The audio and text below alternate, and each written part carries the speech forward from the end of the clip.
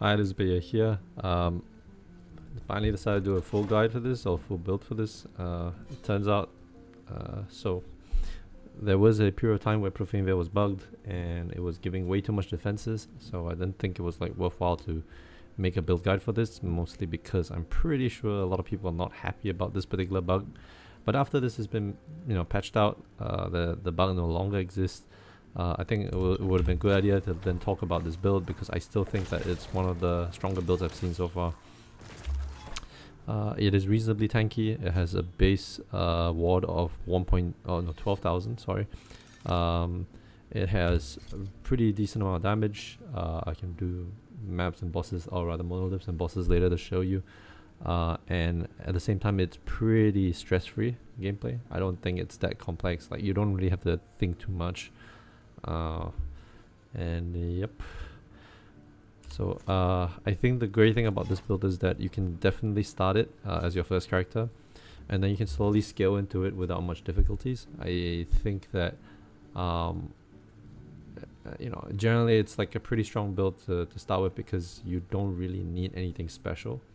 You can just get it off the ground with very basic items and then when it even when you optimize it a lot of the uniques that you're going to get that are like multiple LPs are generally accessible uniques right? To give you an example uh, Shroud of Obscurity, Calamity, Firestarter's Torch are all very uh, readily accessible with at least three um, uh, legendary powers and above right? So you can get 3 LP you can get uh, 4 LPs and you'll be able to get this optimizers for relatively cheap uh, so for this, I would definitely suggest uh, it's it's more of a Merchant's Guild kind of uh, setup. I would say that you can definitely run this on COF, but with Merchant's Guild, you're more likely to be able to optimize it easier.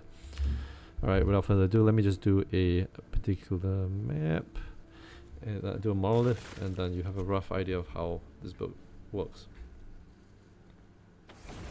Hopefully it doesn't lag because my computer is really old, not very optimized for this.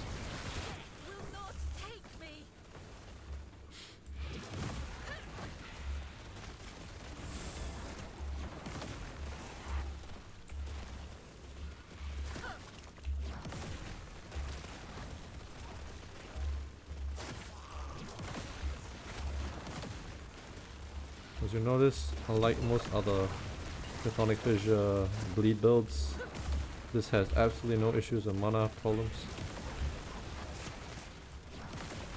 I'll sh show you the reason for that later. But yeah, pretty zoomy, pretty tanky. Even though I don't have cap res,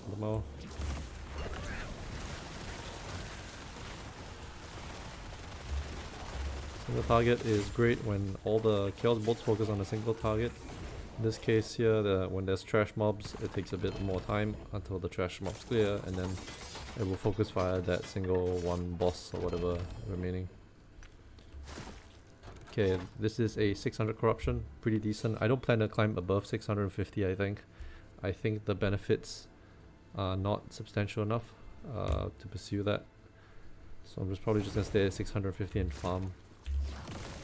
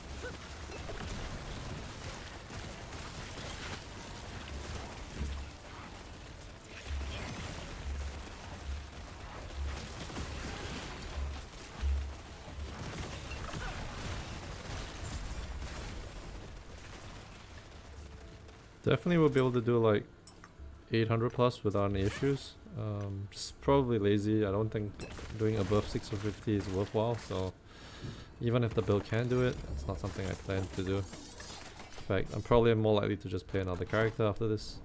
Okay, now there's a boss. So, so just give you a rough idea of bossing DPS, I'll just do this boss. And then I'll briefly talk about the itemization, about the, the skill choices and etc.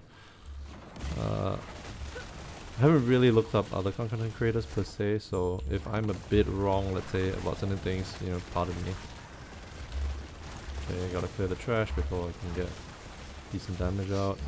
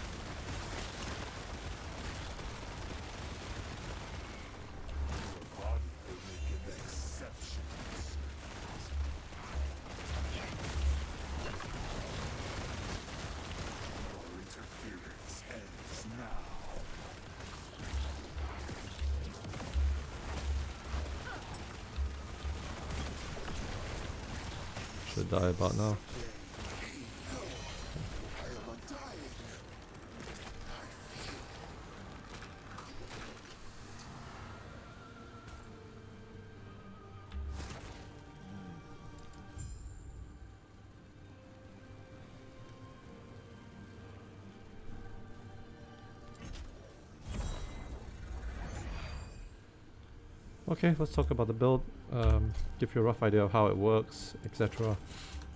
So basically, you are using uh, Chthonic Fissure to spawn Chaos Bolts. You notice I barely cast Chaos Bolt manually. You only cast Chaos Bolt manually to do this, which is to extend duration of Chthonic Fissures and to proc um, Bleed Overload. But other than that, you don't really actually press this as a button. Most of the time, you're going to be running around spamming Spirit Plague. This resets your Profane Veil uh, and to help you have more Spirit Plagues up. Uh, Chthonic Fissure, you just need to drop once uh, and then refresh it once it drops off. Uh, and then, yeah, Profane Veil is for getting your ward up, for tankiness, for dodging abilities. Uh, it's also really good for damage because you get a damage boost from this. And then uh, all the zombies not on the skill bar because you don't need to press it at all, but it synerg uh, synergizes with Profane Veil to give you uh, the minions to uh, be consumed and give you ward. Uh, there's also a lot of quality of life with summon volatile zombie, I'll show you later, and there are ways to automate it so you don't really have to think about it too much. Uh, so let's start first and foremost, let's talk about Spirit Plague and the skills. I'm going to go into detail here, I'm sorry, but I'm pretty sure, I'll, I'll drop an LE tools uh, profile so you, you'll have uh, easier time, but let me just talk like about the build itself and the skills so that it's you know, if you want a rationale for it, I think it'll be a lot easier. Like, it's easier to understand where I'm coming from, so you don't have to overthink things, right? So Spirit Plague is just here for two reasons. It is a zero mana cost uh, curse, so um, it allows you to it allows it to be spammed. Uh, this is for Profane Veil, and also it's here to give you uh, increased bleed chance, so 150% bleed chance uh, on top of whatever bleed chance you get elsewhere. It gives you ward gain as well because how many times you hit a specific target, you're going to get ward back from it. So very good sustain. Synergizes very well with Chaos Bolts because you're going to be hitting the, the target a lot. Um, Plague Burst is just to spread. You can get 3 or 2 in this. Uh, you need 2 at least just to get here, but you can get 3 or 2 in this and then add points elsewhere. I've just gone for 3 here. This is a good buff for damage. 15% of increased damage over time uh, with 13 maximum stacks. Um, you're going for these, this one and this you're going for this just to get to here.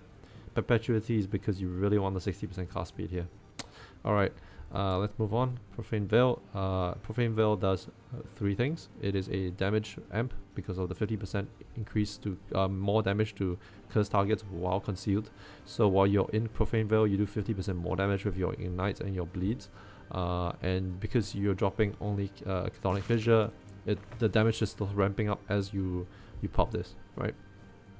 So this is a 50% damage bonus, uh, more damage bonus. Um, you also have this. You get this because you want to be able to refresh your Profane Veil as fast as possible. Profane Veil is insanely broken as a survivable me survivability mechanic. Even if it no longer gives you like, you know, 100,000 ward, it doesn't really matter because to be frank, uh, low life warlock already has pretty decent amounts of base ward. uh, and then you can ramp it up to 20k, which is more than enough. Uh, what you're using this for is mainly the permanent the, the 100% dodge. So every hit you dodge, right, you have 100% chance to dodge. Uh, you only take damage from DOTs. You can somewhat mitigate it from this uh, spirit plague. I don't think this works according. I'm not sure if this works. I, I haven't read patch notes, but I if this works, this would help uh, reduce your DOT incoming DOT damage. Um, you're also using Profane Veil for application of a curse. So Penance Curse, I think you can only get it here. Uh, more curses is more damage because you're a Warlock, 5% more damage, so that's why you're going here. You're going Heretic's Flame to turn this into a fire skill. I'll tell you why you're going to turn it into a fire skill. But for now, you can just remember fire skill good for this particular for this particular build. All right, you're going here. Uh, this is to just to get the vampiric pull. So this allows you to consume your minions. Uh, then you'll consume up to 10, so you want to max this out. And then Apocalypse is to give you a cycling uh, amount of zombies. So I'll give you an example. Let's say there's two zombies here, right? See, I've got four now. Wait, let me, let me get the cooldowns off.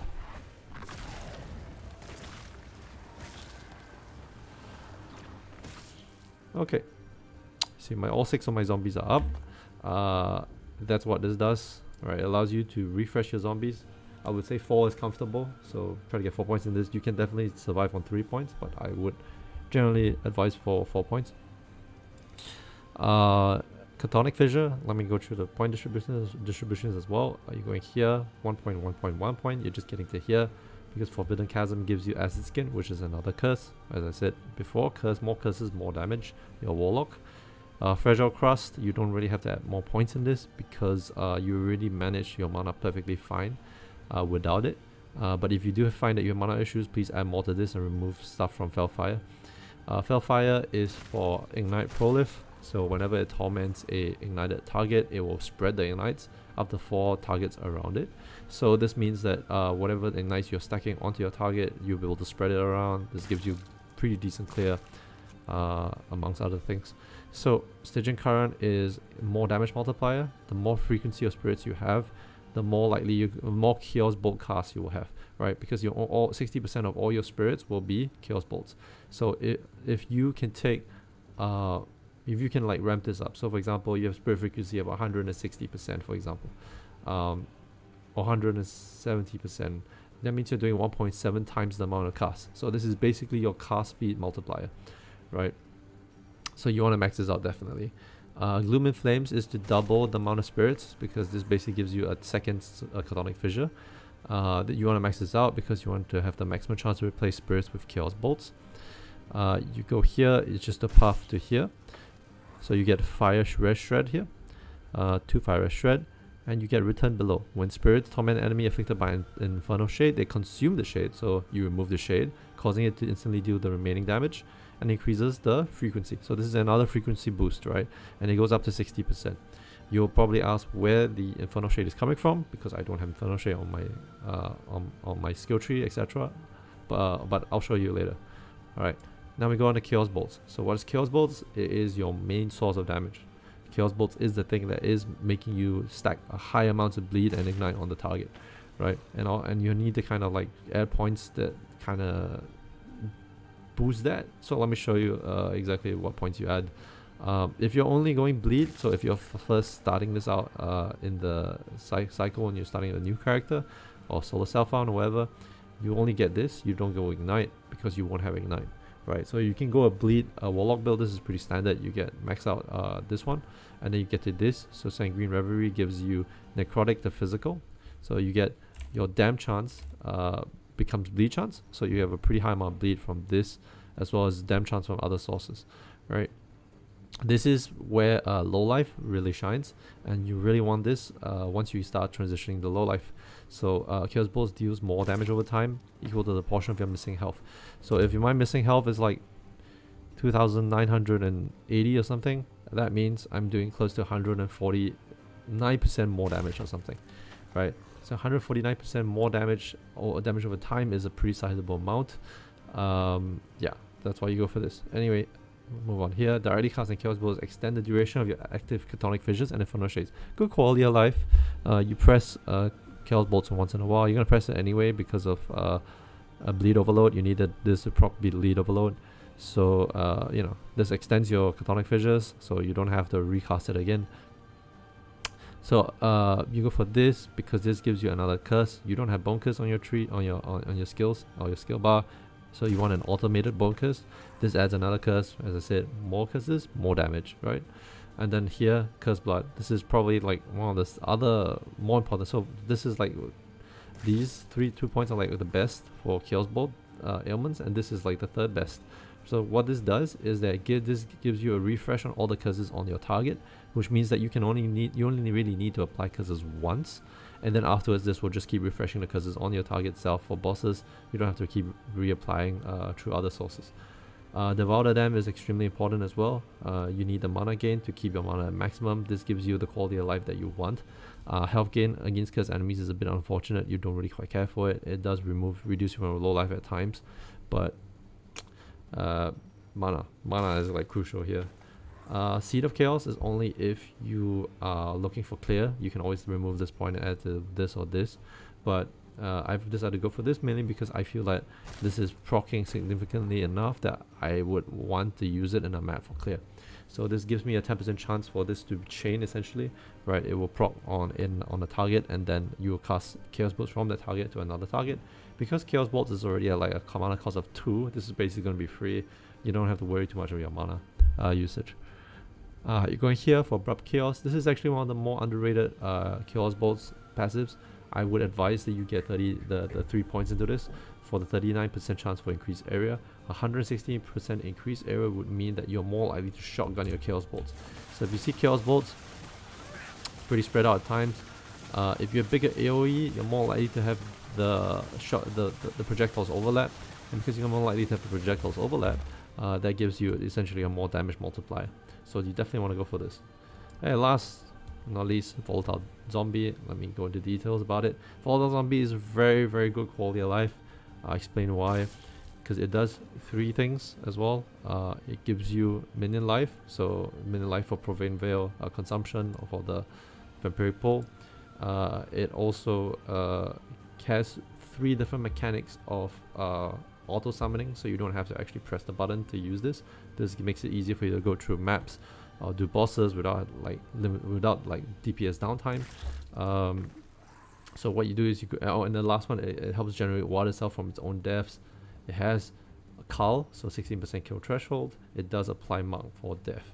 So it does a crap ton of things. You, you can also spec for fear so it does some form of crowd control as well so here you, you part it here, you get necromantic fervor. Uh, this gives you uh, zombie life. So the zombies when they die, 0.8% of their life is basically given to you as a healing. You can change that into ward, so that gives you uh, even more ward. Effigy, effigy of com on combustion is for Inferno Shade. Auto casting a Inferno Shade and why you want auto cast Inferno Shade, uh, one is a 5 skill, so you're really going to reduce the cost, it's only a of 6, really low. And two, because you're going to use uh, Inferno Shades, you're going to consume the Inferno Shades with Chthonic Fissure to get frequency, which is more damage. So that's why you have this here. Uh, these two points are only because I'm using Cycle of Putrescence. That gives me levels if this is a damage over time uh, minion skill, and only this skill point allocated will make this a damage over time minion skill. So you add this here because the two points are basically free. But you can ignore them. If, you, if I were to remove these two, you'd see the levels drop down to 20 and uh, I won't have these two. But that's all. Um, you're going up here mostly to uh, access the nodes up there. You don't really actually care about this, these two nodes. They're just for parting. Uh, you go one here and then one here. So this gives you a chance to summon uh, a big zombie from indirect cast. So 10% of the zombies you summon will be big zombies. Uh, what is a big zombie? Uh, I have to maybe uh, prop one. Okay, so you see this big guy over here? That is a big zombie. They have two right down here. This means they have double the life, which means they give double the ward. Yeah, so that's only 10% of the time, uh, but it's still consistent enough for me to like want to add this. Uh, you want to go here as well because you also have a chance for additional zombies when when you have indirect cast. So that means uh, you're more likely to have like the full stack of six zombies up, uh, and you're more likely to over summon. So when you over summon zombies, this means that uh, you will get zombies expiring because the over summon zombies will replace your existing ones, and then that will cause them to die, and then that will cause extra ward healing. So good quality life over there.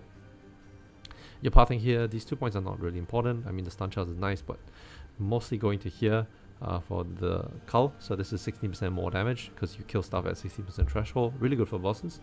Uh, you go here as well. Uh, mostly the path to here. Uh, Mark for Death is super strong, mo mostly because uh, extra curse, your Warlock, right? So this gives you 5% more damage. This also is a pretty sizable resistance shred, 25% reduce all resistances. Uh, and you can keep it up permanently because of Curse Blood. So there are lots of synergies in this build uh, to uh, work together that work together to create a pretty, uh, I would say, a pretty complete build. Let's talk about the itemization because I think that's also extremely important. First and foremost, you'll see a bunch of 3 and 4 LPs on this that seem pretty unattainable, but I'll tell you straight up, you can kind of skimp on these. You can get like 3 LPs instead of 4. Uh, it's not required to get the 4 LP versions, it's just because I can afford them. As you can see, I still have 72 million uh, gold. I haven't really spent on anything like major. Uh, so I know some prices have gone up pretty significantly. 4 LPs or Firestarters are now like a million gold, but they used to be 200,000 at some point. Uh, if you can't afford a Firestarter with 4 LPs, you can go for 3 LPs, pretty accessible because you only care about 3 mods. Anyway, let me go through the itemization to tell you exactly how to itemize for this. Uh, Calamity, 3 LPs, you can get this for under 200,000 gold, it is super cheap. Uh, all you really care about is chance to apply damned on hit, increase life. Uh, bleed duration is good too because it's more damage but, but only for bleed alone. Uh, Shroud of Obscurity is basically the poor man's exsanguinate uh, sorry.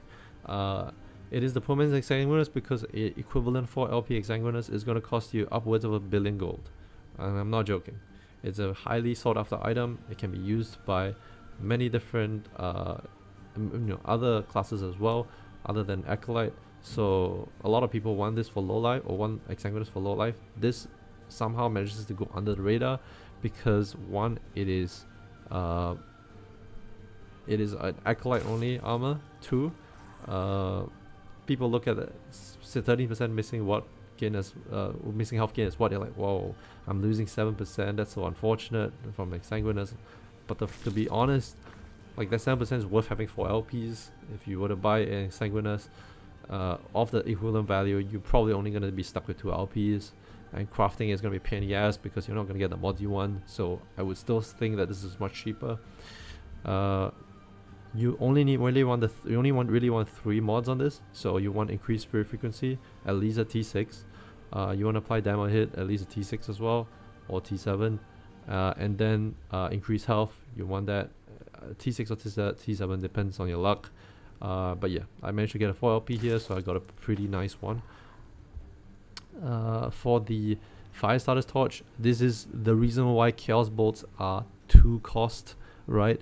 you need at least uh, a T6 on the spell uh, cost on the spell cost prefix to get it to minus 4 so that gives you a minus 8 and that sets your chaos bolts to 2 uh, you can probably get by with uh, T5 which is a minus 3 spell cost I think you can definitely get by with it but I would generally advise for a T6 um, in this case buying a LP3 is probably attainable for most of you buying LP4 is just pretty much out of the way. Uh, I think it, unless you got the currency for it or the gold for it, right? Um, then you need to find stuff like uh, increase. So the increased damage over time, I would usually advise that you get it, uh, just crafted on T5 or something. You usually want something that's uh, you want the mana cost is a T6. Uh, you want the chance to ignite is a T6. The fire pen also you can have it at T5. It doesn't really matter. So why this is really good is not just the mana cost, it also gives you 41% more fire damage to enemies affected by spreading flames.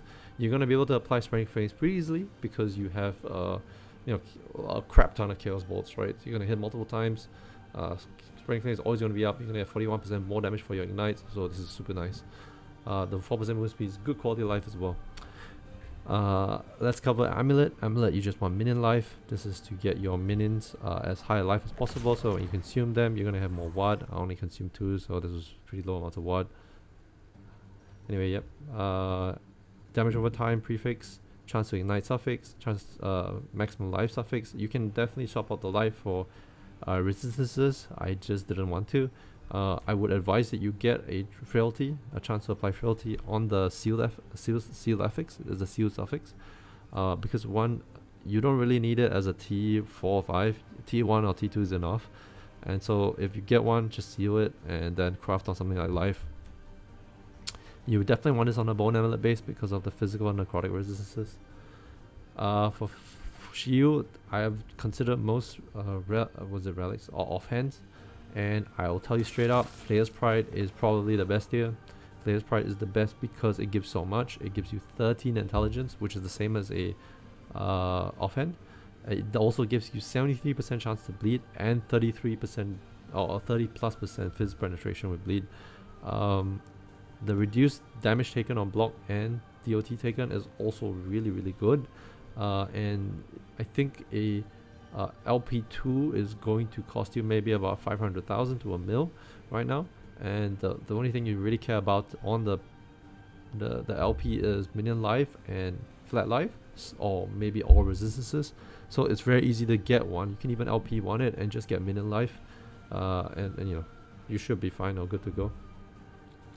Cycle of Putrescence is unique. Uh, you want this here to be able to respawn summon zombies automatically. As you can tell, uh, it's here for, like, if you have two of them, it, it basically spawn two extra zombies when all of them are dead. So let me show you exactly how that looks like. They resummon, I'm consuming them again, resummon, consume, resummon, consume, resummon, consume. And this is the extra spare. As you can tell, I've just consumed 10 uh, zombies, even though there was only 3 at the start. So even though there's only 3 on the field, I ended up consuming 10 zombies. Why? Because of Cycle of Putrescence. There were 6 zombies at the start. I consumed an extra like 4 more just off cycle Psychoputrescence alone. So that's why this is like a super good ring. It, uh, it, just so happens that this is also probably the best base for us. It has necrotic resistance and what, what create threshold. Uh, getting LP2s is pretty cheap as well, about 100,000 gold to about 200,000. And the only things you really want are int and minion life or int and resistances or minion life and resistances up to you um, belt is a bit hard to get and come by uh, this is the other way you summon zombies. So six volatile zombies summon on potion use. Uh, so that means that whenever I press my potions I'm gonna summon zombies. This allows me a oh shit button. Let's say if I'm running around my zombies are not near me and I really need the profane veil I just do that and pop my flask. And I'll eat all the zombies and get a high amount of ward so this is a very good quality of life belt. I would definitely advise this over a unique belt. Uh, I think generally you would need too many, you would need too many rolls for this for unique belt to make sense. Right, let's put it that way. Uh, that kind of means like a rare belt is probably the most ideal here. Uh, if you get one like this, that's pretty much all you need. Um, yeah, that's pretty much about it. Okay, let's talk about gloves. Gloves, void now the Crusader Gauntlets is for void resistance on the prefix. You need as much suffixes as possible because your suffixes are basically life and life is damage because of the uh, low life uh, mechanic. Yeah, so you definitely want current health loss per second and missing health gain as ward. Uh, synergizes with both your Shroud Obscurity and your last steps. Uh, this gives you basically a maximum ward, a higher amount of maximum ward you definitely want this at least to be a T6 but if you can get a T6 or for a T7 or for the T7 you know this is uh, probably best in slot uh, you want int cast speed hybrid life and a resistance here uh, I managed to snag this one pretty cheap I think it was 7 mil and I crafted a bit but yeah uh, probably the most expensive item I have here actually because the chest with LP4 for me was like 6.6 mil or something uh, last steps of living, you only need to get a LP1 and then uh, just craft on either movement speed or a haste mod. This is for mobility. Uh, haste while after you uh, traverse is like super super good quality life. So yeah, uh, pretty easy to get. I would say that this is the cheap. This, this and this, both of them are like the cheapest items to get on this build uh, along with maybe the Calamity because uh, they all cost like really really cheap as a base. It's usually the rings that are more expensive to craft. Flayer's Pride is a bit expensive and the LP4s are obviously really expensive. And this, is, this glove is obviously expensive because of the mod. Just to help you curious, same thing, you only want LP1, LP2s are just too expensive. Profane Veil 4 is too expensive as well, it's like 1 mil per pop. And you're gonna be burning through like, I don't know, 4 on average before you get the one you want. So, yep. Uh, look, definitely look for uh, one that has high amount of increased health as the prefix as the implicit. Uh, the prefixes and suffixes don't matter so much. It's the implicit that matters the most. Uh, his increased life just helps you so much. Uh, Profane Veil 3 is pretty cheap, so yeah. Increased damage over time is nice too because it's generic, applies to both Ignite and uh, Bleed. Alright, let's talk about passives and blessings. So we go, what? Why do I have 3 on... Did I mess up somewhere? Why do I have 3 points? uh weird. Oh, yeah, because I unspec this. Uh, because this is bugged at the moment. Anyway, uh, let's see. Probably will add into more int. Anyway, yep, there we go. Uh, let's continue. Uh, Blood Aura, mostly for this. Blood Pack gives you health drain per second, which get on, on mob on like uh, clearing where you're clearing maps, uh, monoliths. You want the health drain to keep yourself at perpetually low life. On bosses, it's not gonna matter so much because you don't really uh, have that much life gain from boss hits, so you should be fine. Uh, Forbidden Knowledge, Int is nice, Necrotic Res is nice. Uh, you want to go for this sort of path to get the this. Unnatural Preservation, you get Ward Retention, Necrotic Res, and Poison Resistance, so really good. Uh, for Lich Side, you want to go Int, you want to go uh, the Health Leech, uh, Health Leech mitigation, or not mitigation, you want to completely remove Health Leech from your character so you don't get like above low life, so you go for this. Uh, Dance with Death, you're always on low life, so this is going to be 105% uh, increased damage, pretty substantial. 16 int is obviously really, really nice, so that's why you're going for this. On the Warlock side, you have uh, Spiteful Decay at 5, you have Cauldron Blood for Bleed Overload, you have Occultist Mind for max mana as well as int. Uh, you want more of Malevolence uh, just for the Ward Decay threshold for this as well. So ward decay threshold per 1% necro res. Uh, you get pretty high amounts of ward decay threshold. I have about 960 or something. Uh, Doom Herald, this gives you 24% more damage when you are channeling, and uh, Profane Veil is a channel. So during duration of Profane Veil, you're going to be doing 24% more damage just off the passives alone. Uh, Ignite Overload is great too because uh, it gives more damage for ignites. Uh, int, obviously, because you're stacking int. Uh, less damage taken from wither targets, great, because you take less damage. Uh, extra curse, more damage because you're warlock, you know, 5% more damage per curse. Path to here, you can get to here. Uh, Vessel of Chaos is for increased damage over time and more damage per overload. You have one overload and two overload, so that's 6% more damage. Uh, Fleeting Crone is for mobility because you have a chance to get haste from kills and hitting bosses and rares, and you have increased haste effect. So this is really good quality of life. Uh, and then finally here, Aspect of Death, which I heard isn't working. So this is a bit unfortunate. The 3 point bonus actually doesn't work. You are just uh, damning yourself that don't, and you're just adding damned uh, stacks to yourself, which hurts your survivability, and uh, you're not getting any damage from it. So um, this is bugged at the moment. If they fix this, yeah, add 3 more points here and get uh, like 50% more damage or something. But uh, you know, if you since it's not fixed yet, I don't know why they fix the profane build stuff, but they don't fix stuff like this. But you know, who am I to complain? Anyway, yeah, that's all in all uh, about the build. Should be able to clear up to 800 corruption easily. 1000 corruption is a bit pushing it, but I think it should be fine there. Um, yeah, hope you guys enjoyed this video. I'm gonna leave the uh, LE tools. Uh, what's it called again? the link in the in the description. Alright, see you guys. I'm out. Bye.